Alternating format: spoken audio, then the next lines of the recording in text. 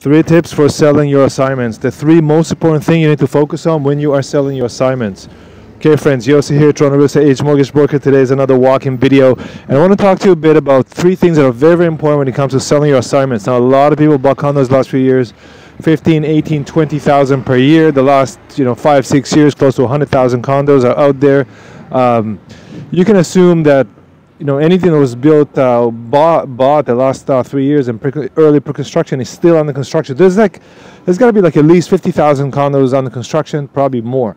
So a lot of people that bought them are buying to flip they don't want to close life situation change whatever it is and they need to sell them so if you're going to go and sell your condo um, of course call me i'm a real estate agent and i'd love to help you sell your assignments and I, I do that and i love doing that nonetheless, I want to educate you and give you some tips on how to do it. So the three things that I focus on most when I talk to people calling me, you know, and every day someone's calling me say, Yossi, I want to sell this assignment.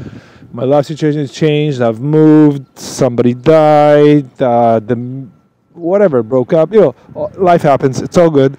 Um, I'm going to tell you what the three things are, and I'm going to go back and review each and every one of them and give you my best tips. Okay, so the first thing of the three things you need to know, you need to focus on the most when you're selling your condo assignment is, of course, the price. The second thing is the deposit. And the third is the presentation. Now, I'm going to go back and explain what I mean. The price, obviously, the price you want to get as a seller, you want to get a price as high as possible and the buyer as low as possible, which is also okay. That's the way of life. Um, but then again, how to price your condo is very, very crucial. If you price it too high, you know, and you expect people to say, ah, just give me an offer. I don't care if the offer is way less, because really, I, that's the price I really want, but I price it way too high. You're not going to get the offer because people are going to see a price. Let's see, an average unit like yours uh, will sell on the open market assignment for 600000 and you advertise it at 650 or 680 the chances you get calls are not very good okay the farther you out from from the market price, what the market is willing to pay, which is the real value of your unit, um, the farther you out, the less calls you're going to have, and and eventually you're going to burn out your listing. You're going to tag to someone who a crazy seller. So you don't want to be a crazy seller, and what that means, I mean, someone who prices their unit way too high over market value, and they don't get any offers. Now, a lot of people go, oh, you know, but they should give me an offer. If it's low, I'll look at it. But they're not going to call you because they think of you as a crazy seller and they don't want to bother with you. So that listing's going to burn. Everyone's going to know, oh, that unit, you know, that building, that unit, that guy's a, that person is a crazy seller. So don't be the crazy seller. Price your property in and around the price that the market is willing to pay for it. And you know like you got to find out what it's worth realistically. Now if you have unrealistic expectation then your price is going to be too high and then you're going to be the crazy seller or you know basically just not going to get enough calls and people are going to be very cautious about it. So you always have to think as a seller my price has to reflect the actual market value. Most properties in MLS sell within you know 1 or 2 percent um, of what they're listed for, at least those who actually close. So, how to find the market value? Well, you can talk to people like myself. You can talk to if you have a real estate agent, friends, see what's going on. And don't forget that when you go on Kijiji, go, oh, but they're selling for 800,000. They're not selling for 800,000. They're posted, they're listed for 800,000. Who said they sold it for 800? No, they did not. And that's why most of the, you know, half of these listings are fake anyways. Like half of these assignment listings are fake. Like people that come and every time uh, they basically just post some Kijiji and then you call them and you say, oh, that's not actually my listing or I don't have it or I have something else because they never had that listing before, okay? So don't be swayed just because you saw it on Kijiji, someone's asking, even if they have the unit, uh, one in two chances they don't actually, okay? Even if they do, the price is too crazy and of course, it's just not gonna work. That's why all you see a lot of these listings are stuck there for a long time. So price it, price it accordingly and properly, okay? Now, a pricing assignments is a whole other video. That's like a course in that's like an advanced course in finance. How to do it, especially assignments, because they're so complicated. Resale, as you know, is the lowest price right now in the market. Uh, pre-construction is the highest price per foot, relatively, uh, on the market, and assignment should be somewhere in the middle. Um, but you know, the market's the market. Assignment at some point becomes resale, so that's pulling the market up, but at the same time, it's putting a lot of pressure on assignments to bring the price t- more towards the resale. Okay, so that's the first thing is to um, to uh, price your assignments properly. It, it's not an easy task, and there's a lot of is a lot of uh, trial and error there, a lot of experience needed, and all that stuff. And there's a lot of you know like you got to put your ego aside, your emotions aside. It's got to be realistic. Okay, so that's the first thing.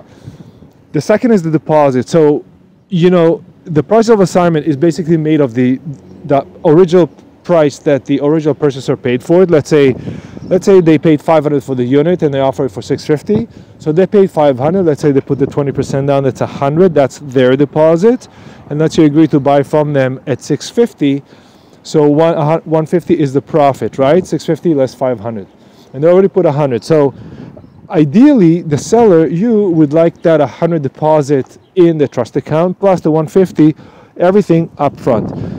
Now, the thing is, a lot of people don't have a quarter million dollars lying around, and if they do, they like to leverage more than to leverage it just to buy a $650,000 unit because that means that that's like a very, very high amount. Uh, that's well over 30% deposit for the unit. And most people want to do 2080, right? So 80, uh, 20% of 650 is 130, but you want 250. So somewhere in between, uh, that's got to be. Now you gotta, you gotta, you'd really like to have the deposit at bare bare minimum the deposit and the real estate fees uh, collected first why because in case that the person who bought the assignment from you did not complete the transaction for any reason at least you have enough money uh, you know if you put the 20% deposit then you have 20 more percent deposit so that's 40% so you, so you can close on the property if you needed to because you have extra cash suddenly assuming that you can forfeit those funds of course and you can pay your real estate agent um, because they're still got to get paid if they did the job, and you want to have that funds available.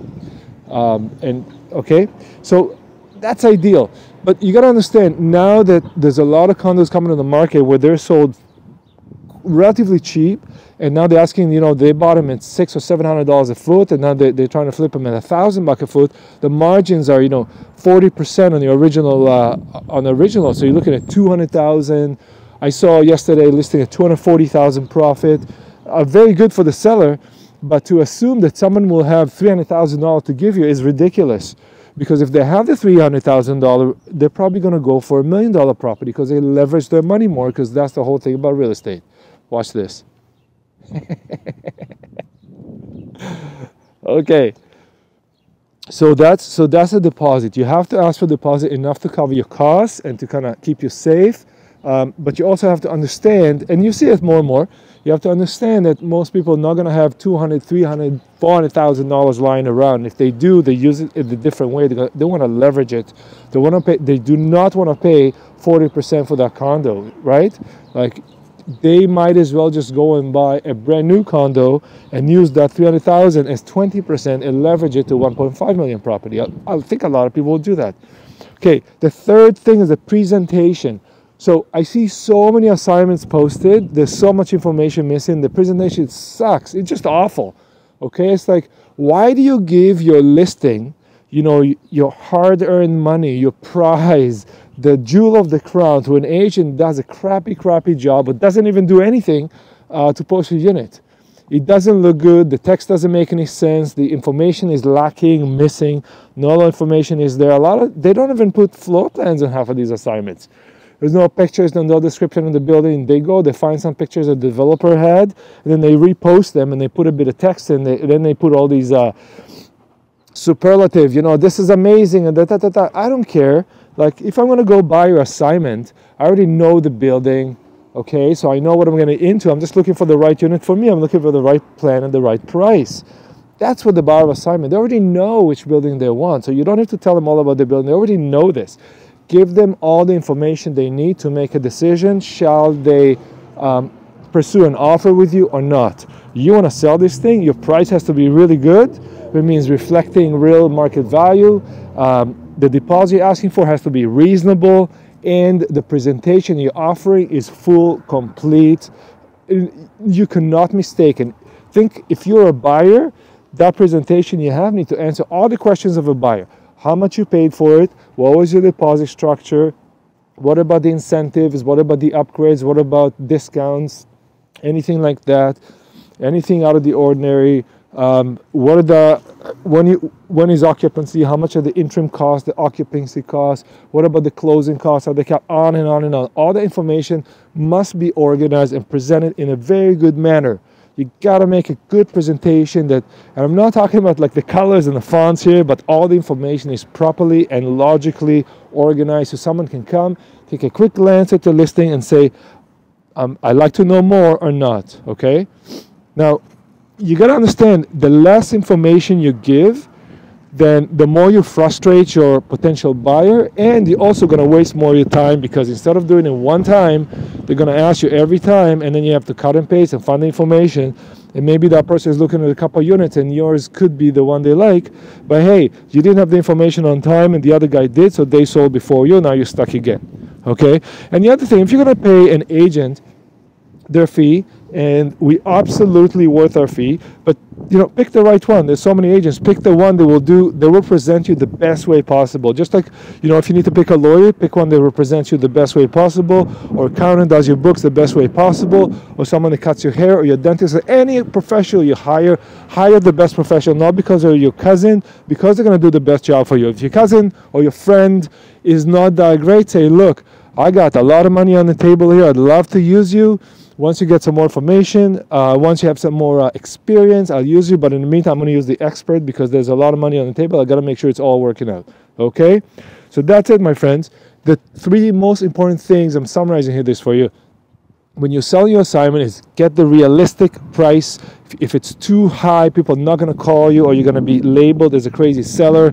Uh, your deposit you're asking has to be reasonable, because if you're asking too much and you're getting into the 30 some and 40 some percent, uh, to them, of course, yeah, from their perspective, they're not going to go for it. They're going to leverage elsewhere, and your presentation has to be organized, all the information included. Everything's got to be good. Okay. So this is Yossi. You're looking to buy or sell a condo, home, land, commercial, assignments, of course. Give me a shout. I'll do my best to help you. Thank you very much. That's it.